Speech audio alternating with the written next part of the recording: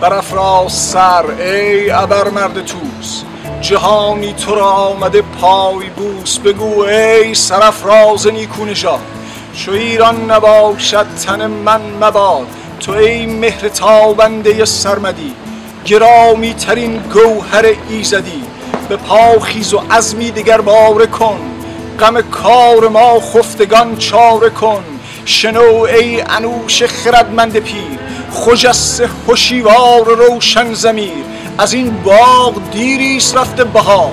ننوشیده کس باده خوشگوار. بر این باغ باد بهاران بیار. بر این خاک تفتیده باران ببار. درودی بیکران دارم به همه فرهیختگان و دوستداران فرهنگ ایران زمین. هیچ حماسه به اندازه شاهنامه در تدوین هویت ملی یک کشور نقش نداشته. شاهنامه زنده ترین حماسه دنیاست. چرا زنده ترین حماسه دنیاست؟ به خاطر اینکه مردمان امروز و ما به زبان فردوسی سخن می‌گوییم به هزار سال پیش شاهنامه را هر فارسی زبانی می‌تواند بخواند شاهنامه ای رو که فردوسی سرود. خرد بنیان در شاهنامه و در فرهنگ ایران استواره این رو ایرانی ها باید بهش بپردازند.